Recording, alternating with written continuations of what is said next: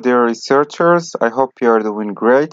In this tutorial I'm going to show you how to import Likert scale questionnaire into SPSS or any questionnaire into SPSS using uh, the following method that I'm going to share with you. So first of all we, we should open our uh, SPSS software and then we go to File and Import Data and then we look at this alright so we have excel csv file text data sas stata and other formats. So i'm going to uh, pick uh, excel.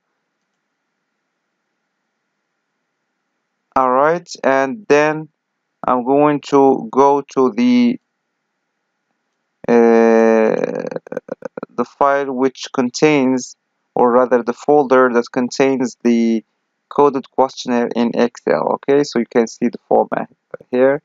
So you can change it from here also. So I'm going to keep it Excel and click open. Okay and wait for it till uh, it is uh, uploaded okay? So I'm going to click OK. I'm going to just keep this checked and click OK and wait for it. So here it is. You can see that now it is uh, coded or uh, imported into SPSS.